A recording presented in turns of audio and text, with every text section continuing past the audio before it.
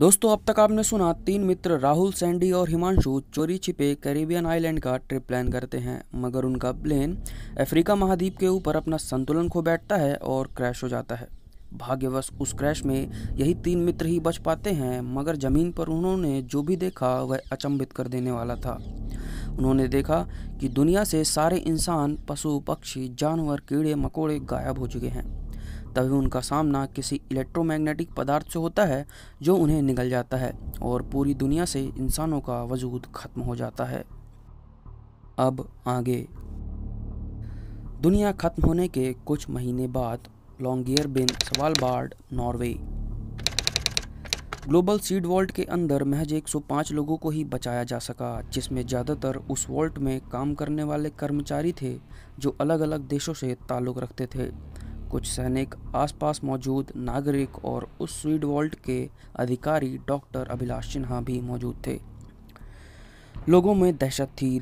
दुनिया की तबाही को दो महीने होने को आए थे, मगर अंदर मौजूद व्यक्तियों में किसी को भी यह पता नहीं था कि बाहर क्या हो रहा है। तभी वहाँ मौजूद कुछ नागरिक बाहर जाने की जिद करने लगे। सैनिक उन्हें समझाने का पूरा प्रयास कर रहे थे। अब बाहर कोई भी इंसान नहीं बचा है। मगर उन्हें देख बाकी लोग भी विरोध पर उतर आए। हालाँकि कुछ लोग डरे सहमे कोने में ही बैठे रहे।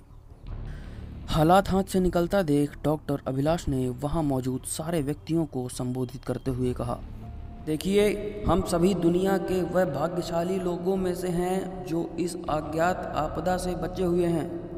जब भी आप इस सीड वॉल्ट के अंदर हैं, बिल्कुल सुरक्षित हैं।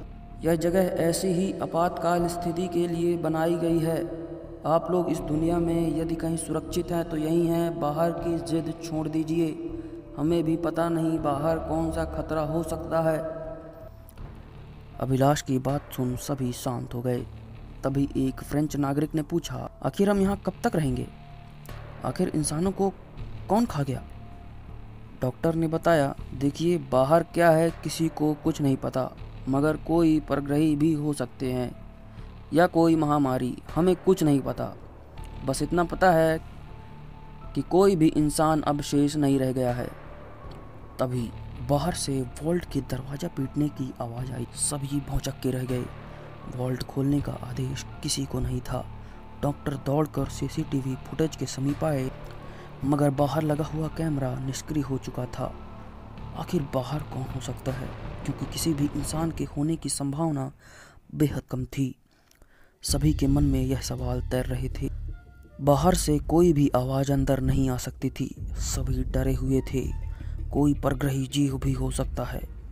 लेकिन तभी वह गेट पीटने की आवाज़ और तीव्र हो गई और मानो किसी बेहद प्रचलित गाने के सुर में बदल गई।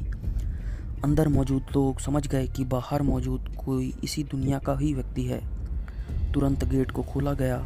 बाहर दो व्यक्ति किसी तरह का सूट पहने हुए खड़े थे। वह अंदर आए, सैनिक बंदूक तान तैयार थे।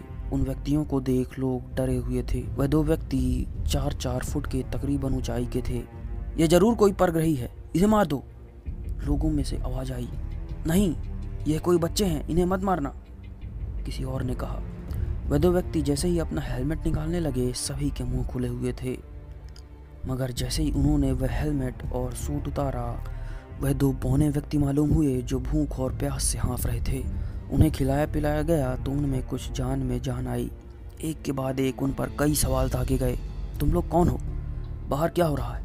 तुम लोग कैसे बच गए? इत्यादि। उन्होंने बताया कि दुनिया के सभी व्यक्ति सुरक्षित हैं।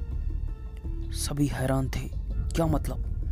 उन बोनों में से एक ने कहा बाहर जो भी इलेक्ट्रोमैग्नेटिक होल्स हैं, वह एक कमज़ोर वार्म होल्स हैं, जो कि एक पोर्टल की भांति काम करते हैं। किसी को भी कुछ समझ नहीं आ रहा था वह क्या बोल रहे हैं। वह ध्यान से यह सारी बातें सुन रहे थे। साफ़ साफ़ बताओ, एक व्यक्ति ने सब्र खोकर कहा। बोनो ने कहा, देखिए, वह इलेक्ट्रोमैग्नेटिक वेव्स जिस किसी को भी निगलता है, वह आज से 50 वर्ष बाद की दुनिया में चला जाता है। सभी के मुँह खुले थे। जी हाँ आपने सही सुना है। यह सारे इलेक्ट्रोमैग्नेटिक होल्स एक तरह के ग्लिच हैं, जो पूरी दुनिया में अनियंत्रित भ्रमण कर रहे हैं। कुछ नए खुल रहे हैं तो कुछ पुराने बंद हो रहे हैं। सभी भौचक्के हो, उन दोनों बहनों की बातें सुन रहे थे। तुम्हें यह सारी बातें कैसे पता? वहाँ मौजूद एक हट्टे कट्टे कर्मचारी ने आगे आकर पूछा।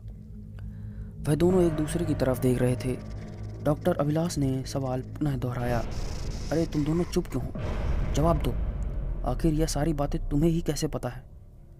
वह दोनों बौने झिझक रहे थे। उन्होंने झुंझला कर कहा यह सब हमारी वजह से हुआ है। यह सुन वहाँ मौजूद सभी लोग सन्न थे।